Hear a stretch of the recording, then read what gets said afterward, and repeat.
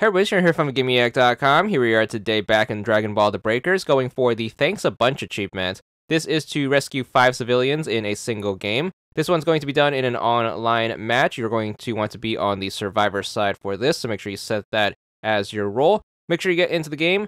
Civilians are actually going to be pretty common. However, if you are still trying to learn the map, if you can, try to find a civilian radar as early as possible, and this should give you their exact location.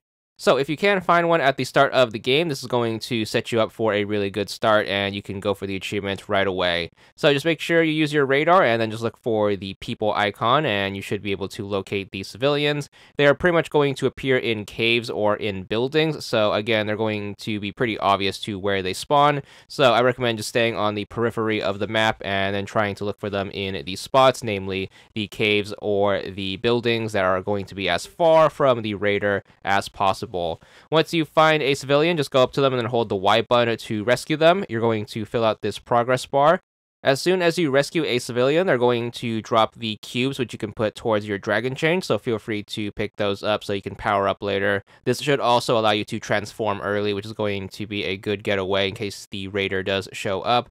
Civilians are also going to tend to appear in bunches, so just make sure you look around the area and you should find a bunch, especially in high cave or high building density locations. So just make sure you just keep rescuing them, and then hopefully you should be able to bank a bunch in the same location. And then once you clean up the spot, just make sure you move on to the next high cave or building density location, and then start looking for more survivors.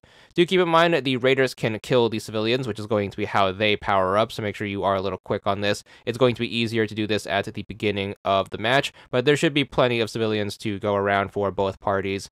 You're also going to be in competition with your fellow survivors, so make sure you try to get to the civilians before they do, or hopefully they are working on other things besides the civilians. But if you can get into a really good civilian rich area, you should be good for all five rather quickly at the beginning of the match. Once you get enough dragon change, make sure you transform, and that should allow you to fly across the map and then move on to the next spot and then just keep rescuing people until you get your five. So just make sure you just focus on this, and you should be good for the achievement, and then hopefully you can get back to working on the objective so here we are moving across the map after we've cleared out that location and we're here in the city where all the buildings are, another civilian rich area. We're just going to go into a building and then get our fifth and final person. Again, using the radar isn't going to be necessary, however it is super useful if you are new to the game and are still learning the maps. But nonetheless, once you do manage to get five civilians saved in one game, you should be good for your achievement. There it is, this one's going to be for 15 gamer score. And that's all there is to it.